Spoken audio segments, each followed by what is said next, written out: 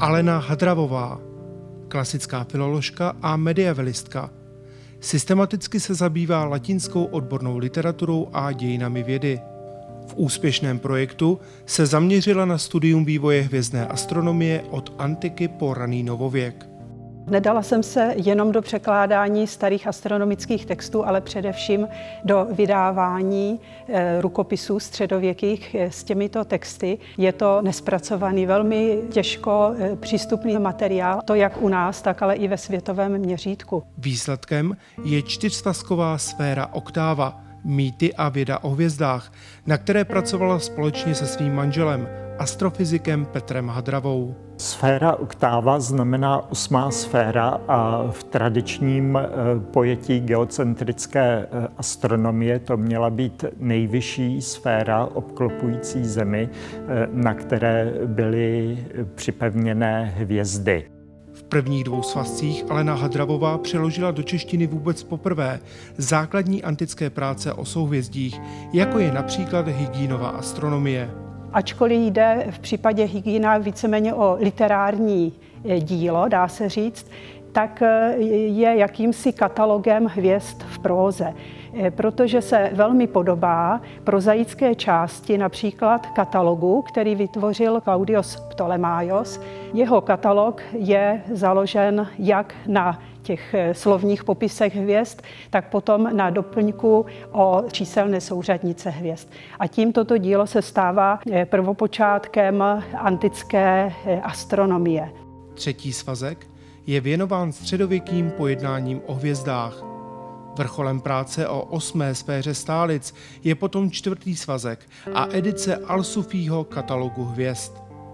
Dnes se z korpusu, takzvaného korpusu As Sufii Latinus, zachovalo devět exemplářů a jeden z nich, velmi krásně iluminovaný, máme také u nás na Strahově. Je psán na pergamenu, vždy jsou zde popisy hvězd slovní a potom provázeny těmi souřadnicemi a vždy je to doprovázeno celostránkovou iluminací. Je taky zářným příkladem textu, v kterém se může uplatnit naše spolupráce, kdy jedna z nás čte texty a druhý eh, čísla.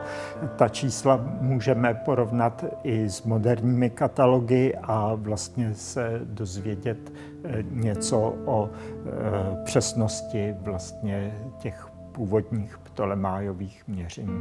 Souřadnice z Alsofího katalogu hvězd posloužily jako jedno z východisek pro exaktní matematické zpracování přemyslovského hvězdného globu. Tento první dochovaný globus křesťanské Evropy je dnes uložen v německém Bernkastel Kues. Jeho analýza a popis je završením celé tetralogie. Je to eh, přístroj, který se tradičně nazývá Přemyslovský, protože se předpokládá, že patřil do sbírek českých králů, že byl ve vlastnictví buď Přemysla Otakara II. nebo jeho syna Václava II. Ukázalo se, že na něm zobrazená souhvězdí jsou vyrytá eh, tenkou linií do sádrového podkladu, že přesně ta jejich ikonografie odpovídá popisu v hygienově práci.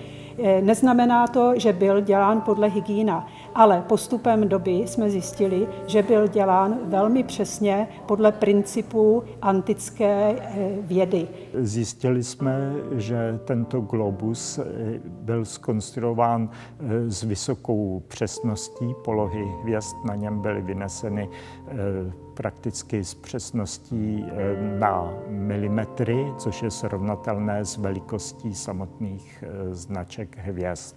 Byl to skutečně přístroj na úrovni své doby. Práce se středověkým textem je pokaždé nová a pokaždé překvapivá, protože co autor, co text, to vždycky mám pocit, že musím začínat úplně od začátku, eh, protože ta práce v sobě vždycky nese řadu překvapení. Druhou linii zájmu manželů Hadravových představují texty raně novověké astronomie. V rámci grantu nyní vydali zásadní práci Galilea Galileiho, Hvězdný posel a Keplerovu rozpravu s ním. Já jsem v podstatě velmi vděčná osudu, že můžu eh, pracovat eh, na věci, které podle mě mají smysl. Mezioborová spolupráce klasické filologie, medievistiky v kombinaci s matematikou, fyzikou a astronomií se ukázala jako velice nosná. A s léty nám těch úkolů rozhodně neubývá, ale naopak přibývá.